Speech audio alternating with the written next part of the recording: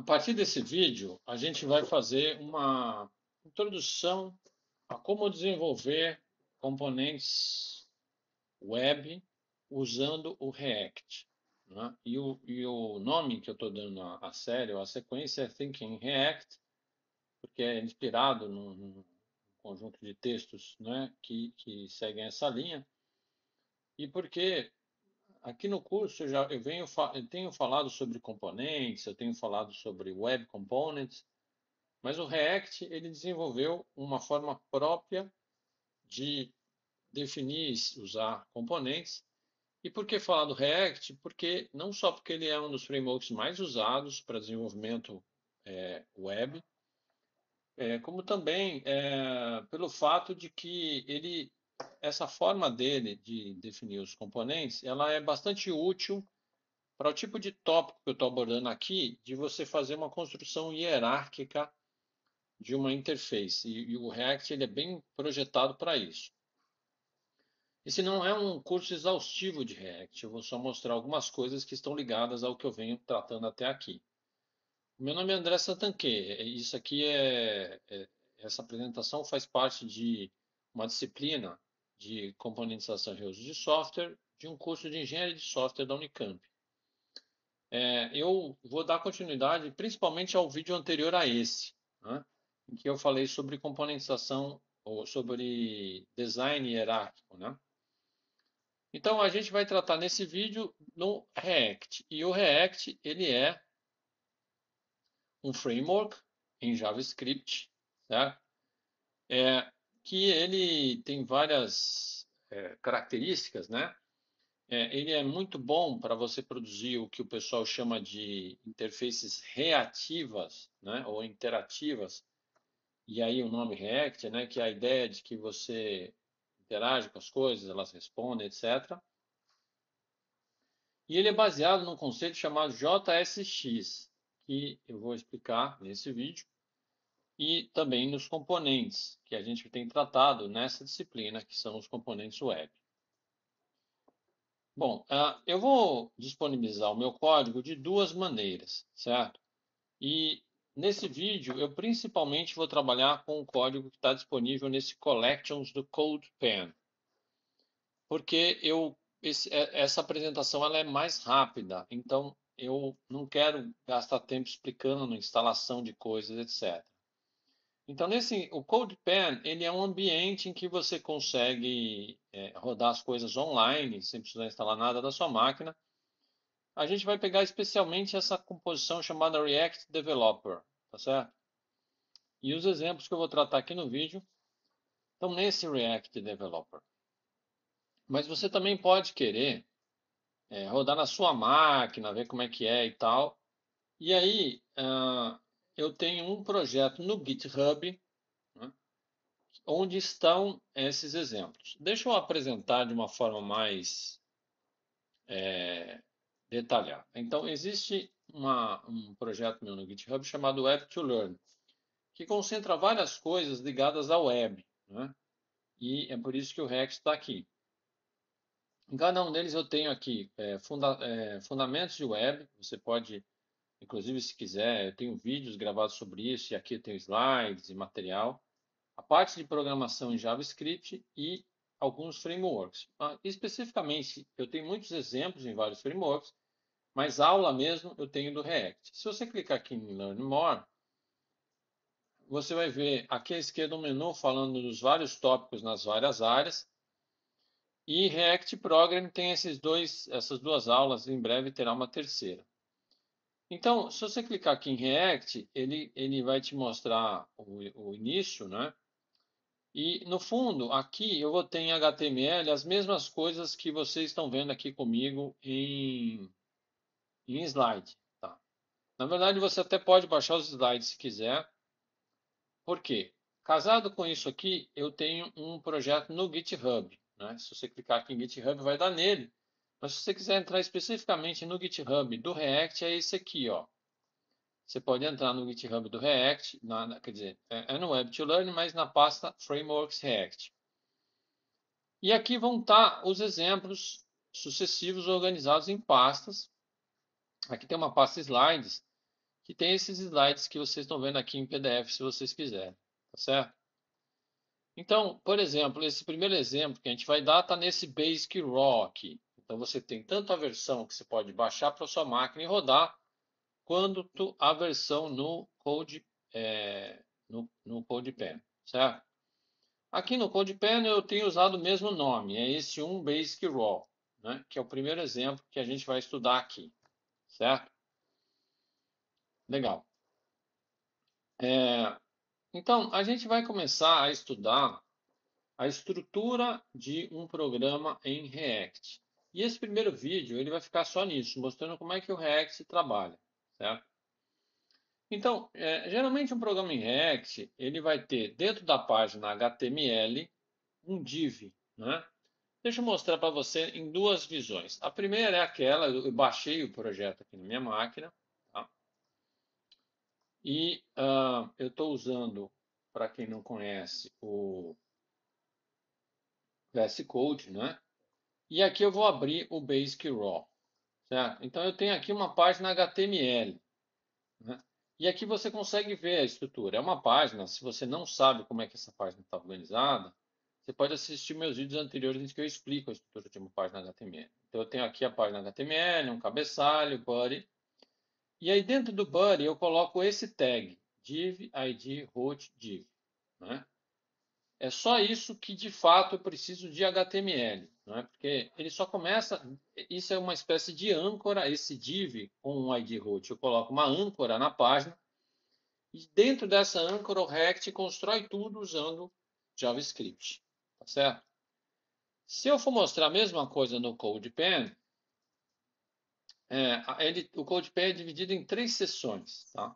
HTML, que é a parte de HTML, CSS e JavaScript. Tudo isso eu mostro nos vídeos mais de fundamentos, se você não souber do que eu estou falando. No HTML, ele para simplificar, ele já imagina que toda aquela estrutura, aquela casca externa do HTML já está declarada, então você só precisa declarar a parte interna. E é por isso que isso aqui é mais didático. Então eu coloco aqui o div id root div, que é só o que eu preciso do HTML, certo? Então o programa em React tem que começar com isso aqui, que é dentro desse cara que tudo vai acontecer certo? Ok. É, daí, dentro do, de, de root, eu preciso importar as bibliotecas é, do React, certo? Tem mais de uma forma de fazer isso, né? Tem as, você pode importar as bibliotecas se estiver desenvolvendo um software, ou você pode é, importar as bibliotecas simplesmente para colocar as coisas lá dentro da sua página. Existe o um conceito né, que a gente chama de Content Delivery Network, que são bibliotecas que você são repositórios que você consegue baixar essas bibliotecas rapidamente. Né? Para o programa em React que a gente vai mostrar aqui, eu preciso importar essas duas bibliotecas, certo? Então, deixa eu mostrar como é que eu faço isso. No nosso software aqui, eu simplesmente dei um script, source script. Então, eu importei aqui a primeira biblioteca e a segunda biblioteca. Eu importei essas duas bibliotecas para dentro do, do meu código, tá certo? No uh, CodePen, para ficar um código mais limpo, você coloca aqui em Settings. Aí aqui em Settings, você vai encontrar uma seção JavaScript, certo? E nessa seção eu coloquei as duas bibliotecas que eu falei para vocês. Aqui em Add External Script Pens, eu coloquei as duas bibliotecas aqui, certo? Finalmente, vem a parte, a parte de codificação em JavaScript, certo? Basicamente, o que, que eu faço na codificação? Primeira coisa, eu vou criar uma variável, uma constante root, que vai representar a raiz do meu programa e ela vai ser usada para é, é, a construção daí para diante. E aí eu vou dizer assim, olha, é, eu uso esse React DOM create root, que é o seguinte, ele vai pegar esse document get element by ID, eu falo em vídeos anteriores, ele vai resgatar esse elemento que tem o ID root. Então aquele elemento que a gente fez aqui, esse elemento, ele vai ser resgatado é, pelo, pelo React e o React vai transformar isso num componente. certo? Você imagina um componente, um web component, que tem um método render ali e que esse render vai desenhar esse componente, certo? Então é isso que faz o create root. É, em seguida, eu vou uh, definir o comportamento desse método render aí. Como é que ele vai ser, como é que vai ser feito o render, né? Então, basicamente, eu vou dizer, eu vou chamar o React e vou dizer, olha, eu quero que você crie um elemento, né, HTML, que é aquele H1, né, que é para título, e dentro do H1 você vai colocar esse velocity rest, certo? Eu não vou entrar em detalhes por que aqui é null, todos esses parâmetros, porque esse é um vídeo muito por cima, assim, né? O que, que ele vai fazer? Ele vai é, pegar essa construção, que é esse elemento, e anexar esse render, de tal maneira que toda vez que ele precise ser renderizado, né, ele vai criar esse elemento e vai colocar aqui neste div. Então, esse create element, na prática, o que, que ele faz? Ele cria um elemento web assim, né? o elemento H1, H1 barra H1, se você não, é, não sabe o que é isso, olha lá minhas aulas, e dentro dele o VelociRest que eu coloquei aqui, que é o conteúdo. Ele constrói isso on the fly, e aí ele renderiza dentro daquele div, certo? Então, vamos ver isso nos nossos dois ambientes. Aqui no, na página HTML, eu criei uma cláusula script para poder botar o código dentro da própria página, sem precisar abrir um outro arquivo, não complicar. E aí eu coloquei aqui o código, tá vendo? Bom, essa é uma página que você consegue rodar diretamente no seu navegador sem precisar nada extra, nenhum pré-processamento, nem nada. Deixa eu te mostrar, olha. Eu vou abrir aqui o meu navegador, certo? E eu vou pegar essa página e vou arrastar para dentro do navegador.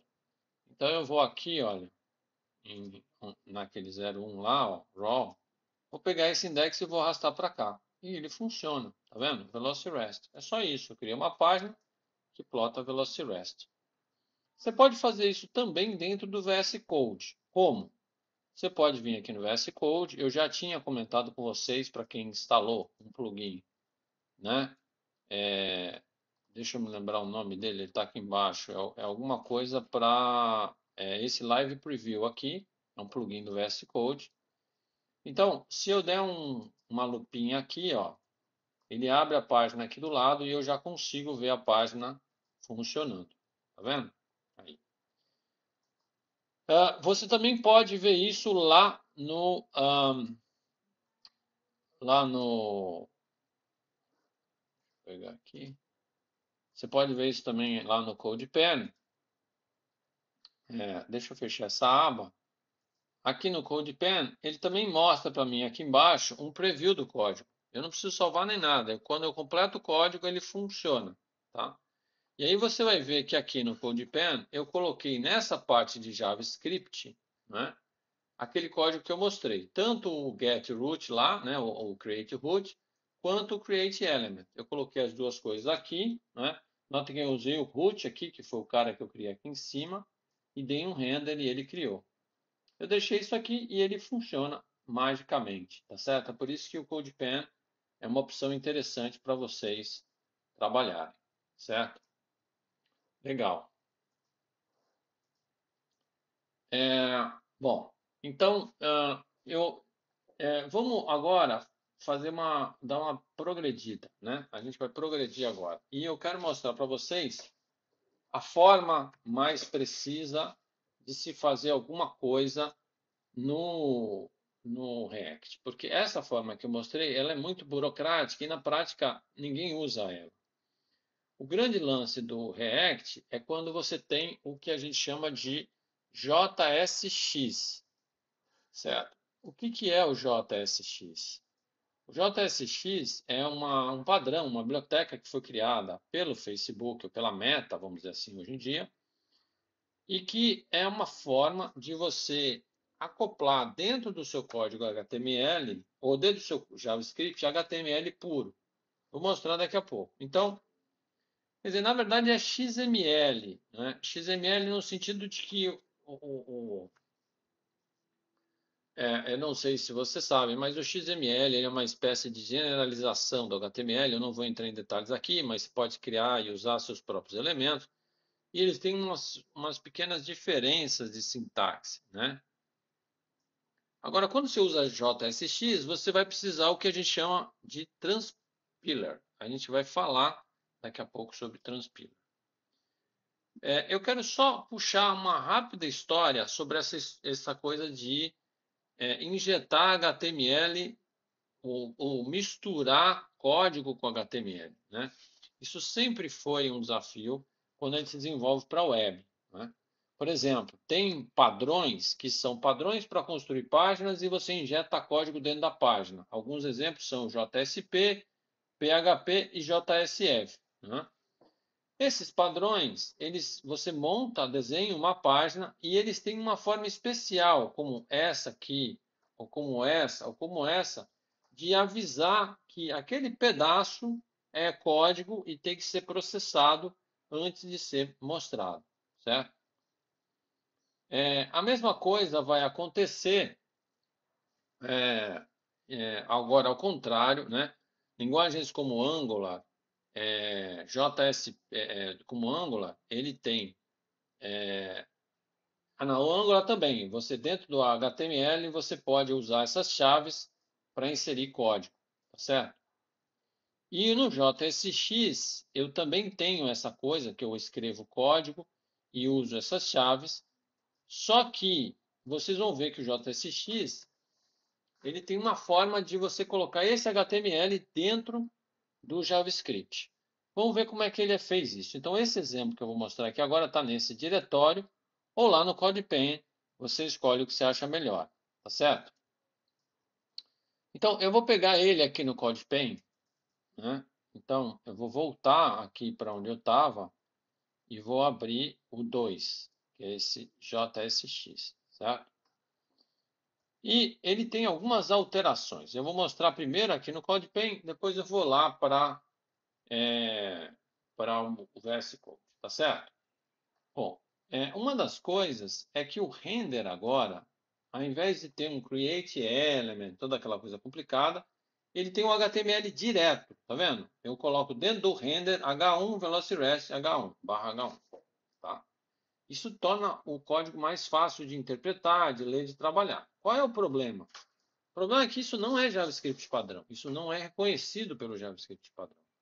Então, isso, uh, se você tentar rodar direto no seu computador, ele não vai rodar, certo?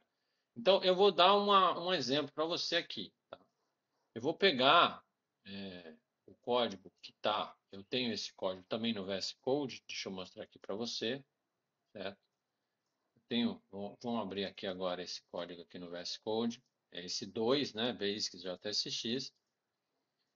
E ao abrir o código aqui, tá aqui o código, tá vendo? H1 do jeito que eu falei. Então ele é todo igual, só que ele tem esse esse H1, tá certo? Se eu tivesse só isso, ele não rodaria no navegador. Mas se eu botar aqui no navegador, vocês vão ver que vai rodar. Funcionou o navegador. Então, mas você disse que não roda, como é que rodou aqui no navegador? Então, agora a gente vai entender uma mágica chamada transpiler. Bom, então basicamente o que eu estou querendo fazer é que esse velocity rest, ao chamar o render, seja renderizado aqui dentro do div. E eu estou usando essa técnica aqui. Bom, como isso não é JavaScript padrão, a gente vai usar uma técnica chamada transpiler. O que, que o transpiler faz? O transpiler ele é um pré-processador. É? Antes de rodar isso no navegador, é, o, o código vai passar pelo transpiler, o transpiler vai converter esse código para JavaScript padrão e aí ele manda para o navegador. Nesse caso, esse H1 tal, parará, ele vai virar aquilo que a gente fez em JavaScript aqui. Só que isso vai ser feito por trás, nos bastidores, pelo transpiler. Como é que eu embuti um transpiler na página, para a página rodar? Eu tive que importar mais uma biblioteca, que é essa aqui, é o Babel. O que é o Babel? O Babel é um transpiler super famoso, ele faz transpiler de um monte de coisa, entre eles as coisas do JavaScript, ou do JSX, desculpa. E o script, eu tive que colocar um tag Babel. Então vamos ver aqui como é que ficou. Ó. Aqui em cima eu acrescentei uma linha importando Babel, tá vendo? E aqui esse tag script eu tive que dizer que o tipo dele é Babel, tá? Para que o transpiler é, saiba né, que ele vai ter que pegar esse código, converter ele antes de rodar. E aí funcionou, certo? No, no CodePen, é, a gente vai fazer uma coisa um pouco mais é, é, um pouco diferente. Então você não está vendo o Babel aqui, né? Mas basicamente no CodePen eu venho aqui em Settings, tá? E aqui no JavaScript eu tenho um, uma opção de escolher o pré-processador que eu quero, tá vendo? E aí eu escolho o Babel aqui, tá vendo? Pronto, ele faz tudo para mim, certo? Quando ele fizer aqui, ele já vai rodar o transpiler, então isso aqui já vai ser transpilado, como a gente chama, e vai aparecer o Velocirest. Ok? Legal. É, então, o Babel é esse transpiler, é famoso, vocês podem entrar lá no site, ele faz várias transpilações. Então, aqui a gente está encerrando o básico do básico do React com JSX. Eu espero que vocês tenham entendido. Esse básico vai servir depois para a gente mostrar como é que agora a gente vai construir os componentes e vai fazer a hierarquia, etc. Aqui estão algumas referências, caso você tem interesse em se aprofundar nessas coisas que eu mostrei aqui. Esse vídeo tem uma tarefa para vocês desenvolverem, né? E a tarefa é modificar esse exemplo que eu dei para vocês, né? O exemplo que eu acabei de mostrar, o último, né? Que é o 2BSJXX, para que ele apresente um texto embaixo do título. Então, vocês lembram que eu criei aqui um título, né? aqui em cima, esse, esse Velocirest é um título, você pode mudar o título, botar outro título que você queira, e eu quero que você acrescente um texto embaixo do título. É uma tarefa bem simples, é, só para você mostrar que você entendeu isso. Você pode fazer no próprio CodePen, se você quiser. Tá? E aí, se você fizer no CodePen, você pode exportar e mandar para a gente também, se quiser só o, a parte de JavaScript, por exemplo. Tá certo? O texto é livre, você pode escrever o texto que você quiser e o título também. Ok? Legal? Essas são as referências. Obrigado.